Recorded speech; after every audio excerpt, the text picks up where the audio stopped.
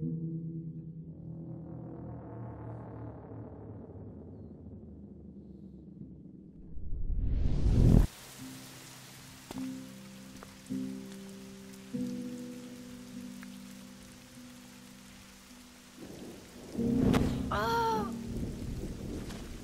What are you doing here, Max? Stop! Don't come near me! Not now. It won't work. I don't have any power. Now I have to do this by myself. Did you come to get another Pulitzer shot like yesterday, Max?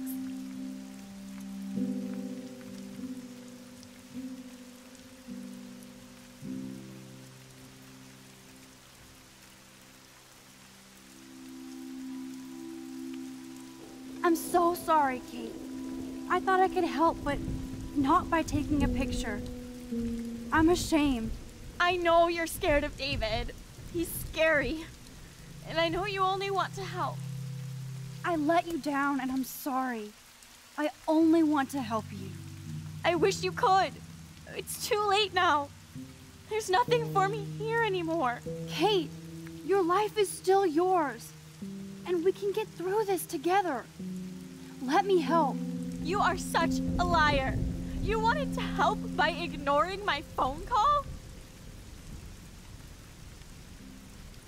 I swear, it was in silent mode, and I didn't see it. Or I totally would have answered. I needed you to answer, Max. Everybody thinks I'm a viral slut now. There is no everybody. There's only your friends and your family who love you. Kate, please trust me. Come stand by me, okay? I can help you now. I know I can. This morning I erased the web link to the video. It was written on the shower room mirror. That's your story now. How can I trust you? What about this morning when I needed help? You told me to do nothing.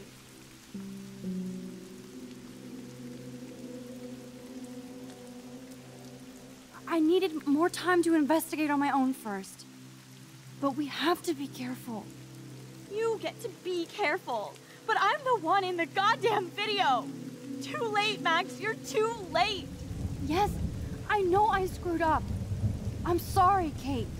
Please, you don't have to do this. Max, I'm in a nightmare and I can't wake up. Uh, unless I put myself to sleep. Then everybody at Blackwell can post pics of my body. I'm already on the internet forever.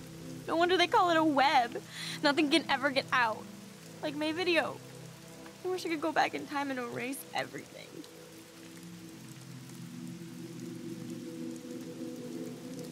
Kate, there are billions of videos out there. Yours will fade away like white noise. Oh, God, please, Max.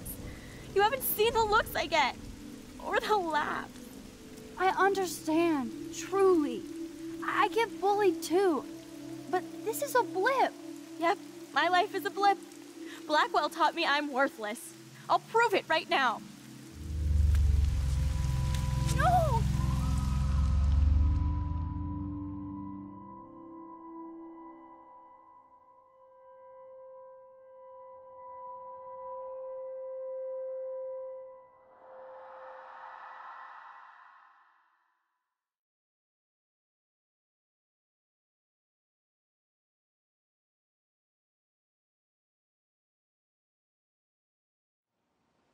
I know this isn't pleasant for any of us, but we have to go over what happened before Miss Marsh, before she did what she did. Officer Berry will be taking notes for the official police inquiry. I'm sure you'll give him your full cooperation. Such a tragedy. But there must be a reason for everything. We need to find out why Kate Marsh would be driven to such desperate action. As principal of Blackwell Academy, I take my duties seriously. I take the well-being of every student more seriously. What happened today should never happen in a hall of wisdom and knowledge. Mr. Madsen, as our head of security here, those roof doors should always be locked. That's just standard operating procedure. They were not, and that is indeed your responsibility. Mr. Jefferson, I know you can't be expected to know what your students are going through. But Kate has assisted you in class, so you should have known something was amiss. Mr. Prescott, since you are responsible for the Vortex Club parties, and since Miss Marsh did attend your last party, you'll have to answer some more questions.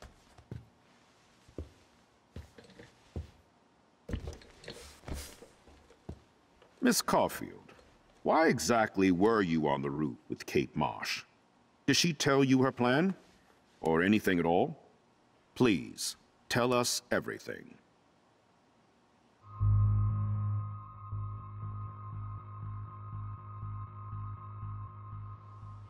All I know is that Kate was at a party and Nathan dosed her. She got wasted and kissed some boys on a viral video without a clue. I dosed her?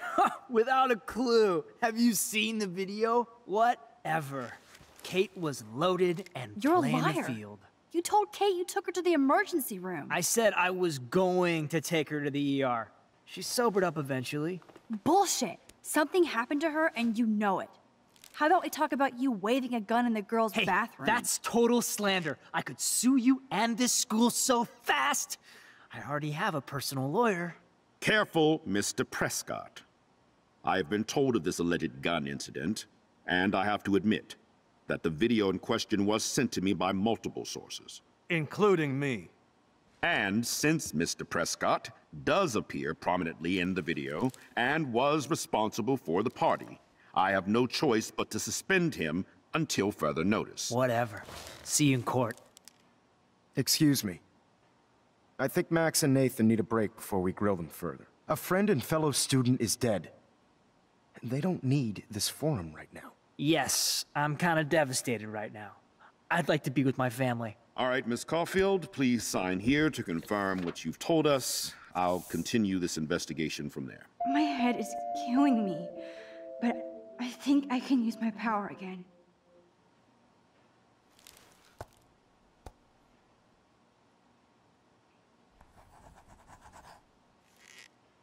Well, I think we know less now than when we started.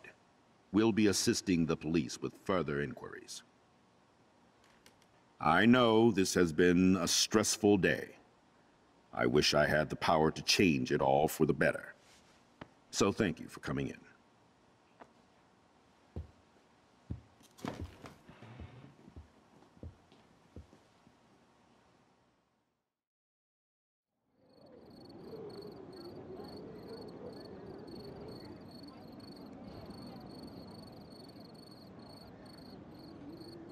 I just can't believe it. It's like it wasn't even real. Watching her drop like a weight, I really thought I could save her. Like a superhero. Come on, Max. Do not for a second blame yourself. Kate was on that roof for her reasons, not yours. My hand just reached out. Stop it. You were the only one with balls enough to run to the roof. You were the only one who cared. Yeah, I sure made a big fucking difference. Maybe if more people cared, better people than me. You're the best person around. Warren, I screwed up today. That makes no logical sense. Warren, I don't mean to sound weird, but there's something ominous going on at Blackwell. Today proves that. And I'm working on proof that Kate Marsh is connected to Rachel Amber. Somehow. Along with Nathan and Mr. Madsen. I'm not a big conspiracy guy, but I wouldn't doubt it. Nathan did scare me yesterday, and Madsen is a straight up dickhead. So, what do you think is really happening? What the hell is this? The weather confirms this weird day. Feel that chill. Max, there was no eclipse scheduled today. I would know. I would.